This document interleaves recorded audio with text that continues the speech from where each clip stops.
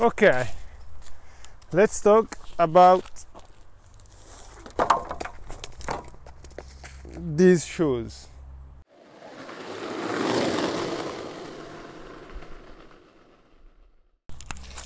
Prima raccolgo quello che non ci serve. What's up guys, sono Vincent e vi do il benvenuto in questo nuovo video. Se sei nuovo benvenuto nel canale, se ti va iscriviti perché oggi parliamo delle Ethnis Jocelyn, sia uno che due. Come si potrà notare lo schietete entrambe da un po' di tempo, decisamente tanto. Credo sia venuta l'ora di darvi qualche mia impressione su queste scarpe. Tra l'altro le ho schiettate in linea cronologica, quindi parlerò prima delle 1 e poi delle 2. In generale vi posso dire che il feedback è positivo, mi sono piaciute, eh, ci sono ovviamente dei ma e delle considerazioni da fare, ma sono delle buone scarpe. Mm, sì. Carina anche l'idea della tecnologia Michelin, sicuramente dona a tutti e due i modelli un sacco di grip, un sacco di resistenza nella suola, nulla di più però, eh, fa figo. Prima di iniziare a entrare nei dettagli velocemente, vi ricordo, ma penso che ormai lo sappiate, che queste scarpe mi sono state fornite da Downtown. Downtown è lo skate shop con il quale collaboro ormai da un anno praticamente, perché abbiamo iniziato a settembre dell'anno scorso e oggi è tipo il 3 settembre, quindi più o meno siamo lì. Anniversario, cenetta romantica. Eh, Lore, cosa ne dici? Perché ve lo dico? Perché acquistano da Downtown non solo supportate la scena italiana perché è un negozio italiano, supportate anche me perché mi date una mano con i video e con tutto quello che c'è dietro, ma soprattutto vi beccate il 10% di sconto su tutto quello che c'è lì sopra, tutto. E, e la roba da skate costa, lo dico sempre, quindi approfittatene. Il codice è Pushing10, il link in descrizione, lì sopra trovate vestiti, scarpe, tavole, track, ruote, cuscinetti, tu, tutto quello che vi serve per fare skate. Quindi fateci un salto e vedete un po' se c'è qualcosa che vi interessa. Tra l'altro, credo, provate a correre, questi modelli dovrebbero essere in saldo, non lo so. Se no ce ne sono decisamente altri, tipo le Last Resort che mi stanno arrivando, non vedo l'ora di skatearle. Sono le scarpe di Polar, molto simili a delle Vans, come piacciono a me. Incrociamo le dita.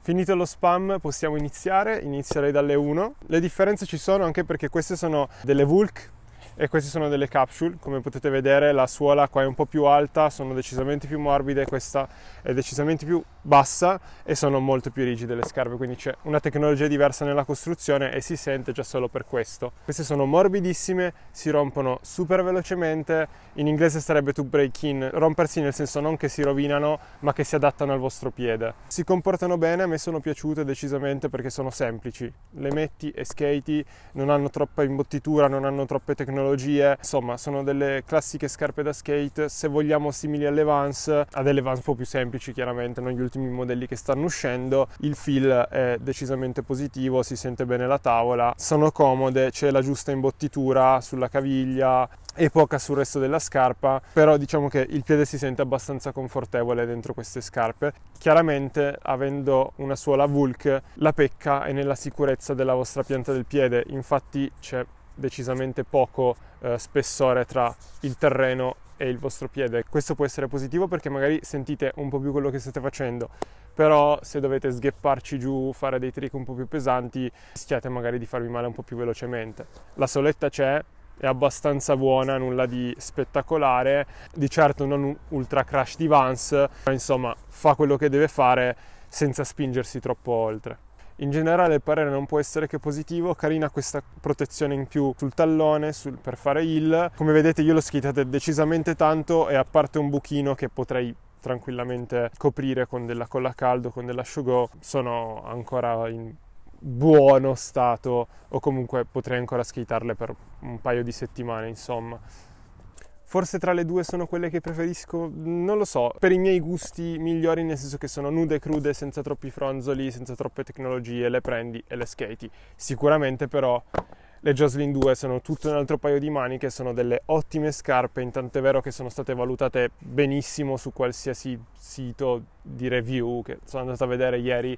Eh, tra l'altro Christian Flores, che è uno youtuber che seguo che fa solo video di scarpe, eh, ne ha parlato molto molto bene, quindi sicuramente sono delle buone scarpe, insomma. A me non fanno troppo impazzire solo per una cosa, c'è tanta imbottitura, davvero tanta, sia sulla linguetta che sul tallone, sulla parte posteriore, anche sulla parte anteriore, il che è molto positivo da una parte perché dona un sacco di resistenza alla scarpa, veramente tante sono iper durevoli, tipo 5 strati, una cosa assurda, hanno la stoffa, uno strato di plastica, uno strato sotto, lo, la pelle, questa qua bianca e poi ancora uno strato sotto, quindi insomma sono veramente ineluttabili.